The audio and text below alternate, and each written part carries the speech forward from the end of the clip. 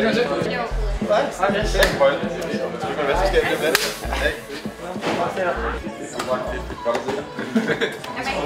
Det er lige skal Tak fordi I vil komme.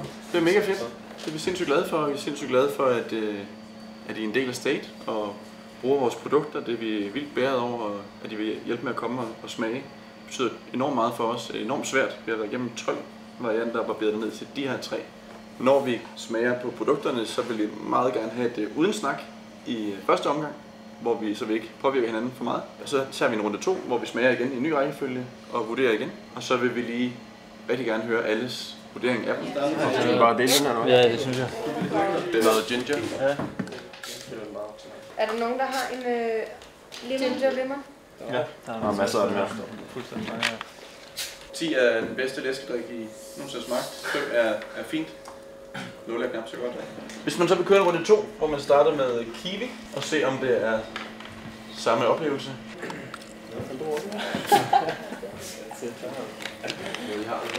Den har jeg aldrig. Altså, er du på den der, eller hvad? Jeg er på den Er du det? Nej.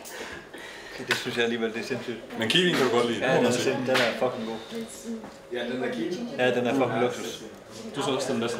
Ja, jeg synes helt klart, det Den får også klart 10 i anden runde.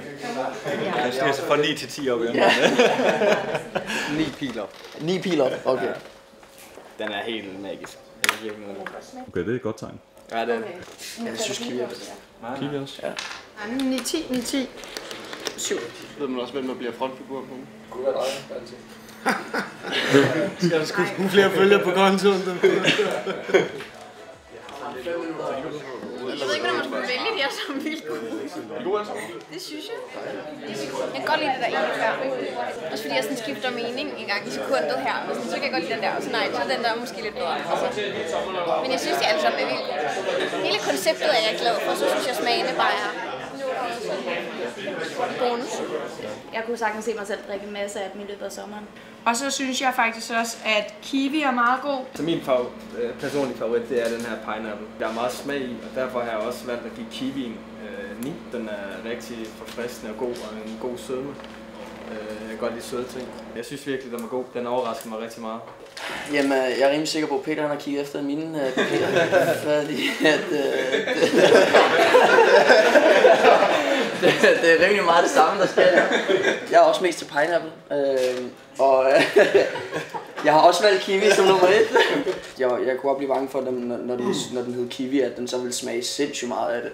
Og det kunne måske blive for meget, men det synes jeg faktisk ikke. Det var, jeg synes, det var en god, øh, en god øh, sødme i, uden at det blev øh, alt for kiwi-agtigt. Jeg har altså fået en øh, ny yndlings, og det er kiwi. Før der var det lime, men øh, nu er det kiwi, og jeg har valgt at give den 10. Hyldeblom synes jeg også var god, men øh, jeg synes, det er lidt for almindeligt. Hyldeblomsten bliver lidt for genkendelig i det. Men, men øh, fint, og har også givet en 6-7 stykker. Jeg har stadig pineapple som den bedste. Jeg tror godt, de kunne ryge op på en del førsteplads med pineapple, hvis de lige fik et strejf mere øh, frugtsmag. Jeg kan rigtig godt lide, lide ginger generelt, men følte, at jeg manglede den her lille spiciness. På nummer to, der hoppede kiwi en tak op, fordi jeg egentlig synes, at eftersmagen var rigtig, rigtig god. Så er klar til kiwi. Lækker, frisk sommersmag. Øh, kan sagtens se den på hylderne ude i kanalerne. Den kan man også godt drikke en, en flaske af meget hurtigt. Selv når man ikke er særlig tørstig, så, så kan den godt ryge ned meget let.